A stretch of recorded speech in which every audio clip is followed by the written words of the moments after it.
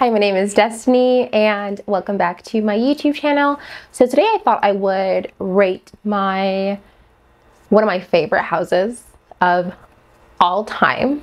And as you can see by the title, that is Maison Francis Kurkdjian. I have five bottles here, so I thought I'd let you know rating from like five to one, which is like my absolute must favorite to my least favorite. I mean, obviously I love them all because I bought them, but if you want to see, please keep watching.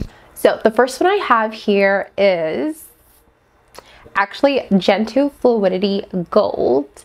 Now, the only reason why this is in my number five spot is because to me, it is, it's very sweet. So I'm not the biggest fan of super sweet perfumes, but this is done so elegantly. The projection, the sillage is amazing. I've had people compliment me on this so much. Um, one one time I went to get food and the girl taking my order was like, "Do you mind if I ask you like what you're wearing? You smell so good." so she could smell me like from the counter. There was like a good amount of distance between us and she could still smell me. Um, but yeah, no, like this is I feel like a beast. If you love vanilla and like gourmandish type of fragrances, you're really gonna enjoy this. And I will say, I think it's completely worth the price. I feel like this house, to be honest, is one of my favorite houses because I think that for the money that you pay, you get like great presentation, great longevity, great sillage. Like I feel like Francis Kurkdjian really puts thought and effort into every single perfume I feel like he produces which and I feel like you can tell you can tell by the bottle you could tell by the cap. It's like a really heavy sturdy cap. And compared to some other houses that I have in my collection I feel like the price point and everything is warranted what you get. So like I think any perfume you get from him is just a1 but this is gentle fluidity gold by mfk and in my number four spot this is i'm gonna butcher this feminine Perel, Perel. I don't know how you say that. But this was actually my very first MFK purchase ever. This was the one that I fell in love with that made me fall in love with the house. And it's just this gorgeous, soapy, clean floral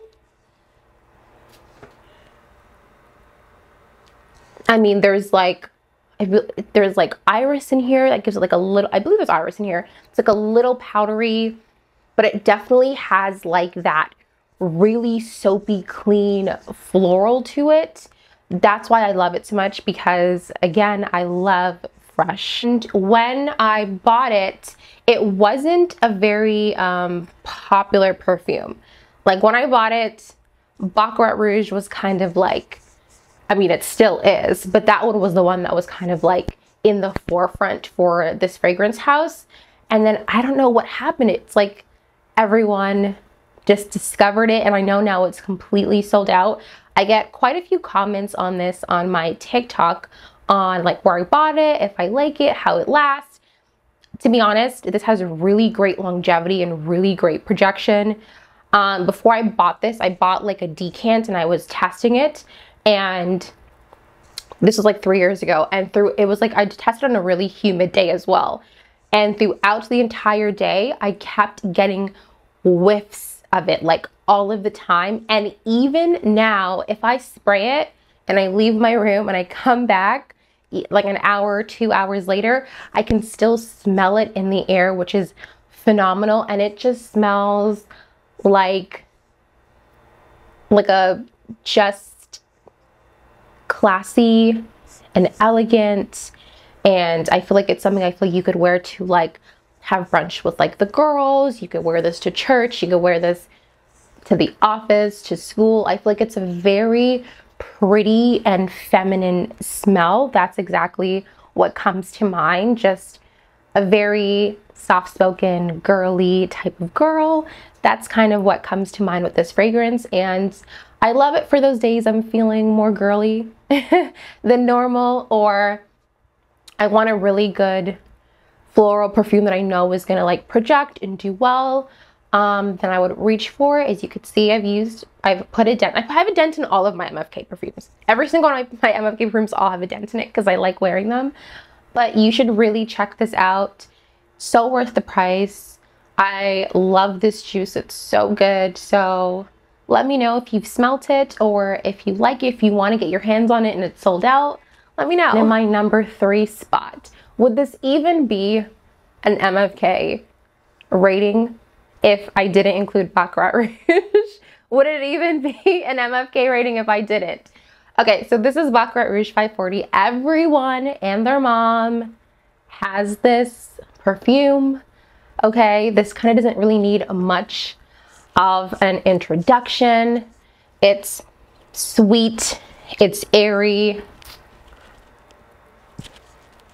It, some, it's a little medicinal. Some people say it smells like a dentist office. Not sure what that is supposed to mean, but it's like, oh, it's hard to describe this fragrance because it just smells it's like sweet and airy is like the only thing that I could I could describe it as sweet, airy, and like a tad bit medicinal. Now, this does play like mind games on me. So like sometimes I can smell it, sometimes I can't. I have gotten tons of compliments on that. You could see I've kind of wore down my bottle. I have gotten a lot of compliments on this of people asking me like what I'm wearing, that I smell so good. Um, so I know that obviously it's projecting and people can smell me. I just can't personally smell myself. Now this is quite expensive and I know there is a lot of dupes out there. I think the best dupe I have smelled so far is Cloud is a really good dupe when I have Cloud. Um, Red Temptation, I believe from Zara, that is like the opening of that is so close to this. It's scary. Like it's really good. The only issue why I actually didn't buy it is because on my skin, it turned like chemically. Like after it dried down on my skin personally, it smelled so weird. I do want to test it again. Like I want to buy a rollerball and just see if, I don't know, if it was just like the client, like I don't know what it was, but I do want to test it again but it was like the, I feel like Red Temptation, in my opinion, is closer to a dupe than Cloud. And also I have an oil perfumery dupe, but that one is um, Baccarat Rouge, the Extate, I believe it's called. So it's not this one exactly. It's like the one in like the really red bottle. And that one smells pretty close, but that one is a lot sweeter than Baccarat Rouge is more airy. Um, but yeah, I feel like it doesn't really need an introduction longevity, everything is great. I feel like everyone already knows about this. It's in my number three spot because I have two other perfumes that I actually love way more than this, although this is like tried and true and just one of those perfumes that never let me down if I don't know what, what perfume to wear that day. But if you haven't smelled it, you can always get like samples and stuff on the MFK website, which is great because you get to pick four and you don't have to pay any duties or any taxes, which is awesome and you get you get to use the the voucher that whatever you pay for the um, sample set towards to take a discount off of a fragrance that you want. So that's amazing too. But yeah, if you want to smell it, you should make sure you actually like it. Um, but yeah, I'll definitely be repurchasing another bottle because I do love the way that smells. And it's one of those sweet perfumes that I can actually tolerate. So, okay, yeah. in my second place, I actually have À la Rose. Oh my god. Okay. This is embarrassing, but not sure if you could see that. But it's there's nothing. there's like barely anything. We're probably looking at like five mils in there? five milliliters in this bottle. And oh my gosh. I don't even want to spray it because I'm like holding on to the juice for dear life. Okay, dear, maybe I'll just like spray like a little. Let's see. Okay. Oh my God. Okay, so I love this perfume so much because it is so nostalgic for me. And I think that's why I love it so, so much. Growing up, my mom always, like in the summertime, she always had a garden.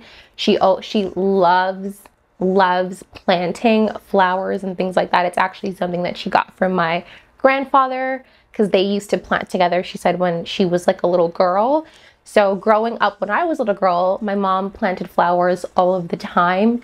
And it always just reminds me of, you know, me like watching her plant the flowers and watching them grow and like smelling them in the air when we would come outside or we would pass the garden or if it rained, the the smell of like the wet flowers in the air is like what it smells like. And it is just such a soft and pretty scent that it's hard not to like. And even if you don't like roses, I feel like this is a rose that I think if I was to recommend one rose, this would be it just because of how soft but like subtle but like realistic it smells. It smells so realistic. Like you're running through the most gorgeous garden. Like so think about the most gorgeous garden that you can think of and that's what this smells like and I'm obsessed and I need a new bottle. Again, when I bought this, it really was not that popular. Now I could see a lot more people it like in YouTube videos and stuff, a lot of people do talk about it, which I'm like, no, no, it was mine for like two and a half years. Now everyone knows about it. But it's really good if you like florals. Please check it out. And it comes in a smaller 35 ml if you don't want to spend um, the money for this full 70 And my number one of all number ones, because it's just that good.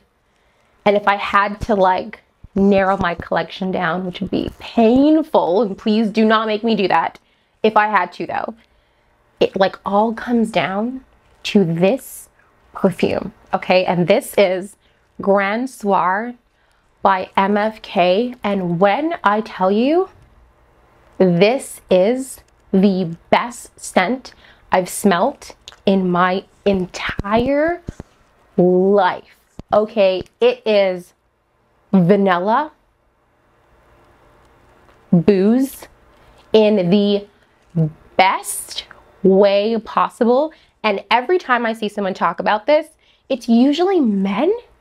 And I don't understand it because this is, like, granted, I do understand why, because it definitely leans more masculine in that sense. But oh my God, it's like this sexy, boozy, androgynous, sensual smell. I mean, oh my God, if I went on a first date with some guy and he was wearing this, I would be like, oh, he has good taste.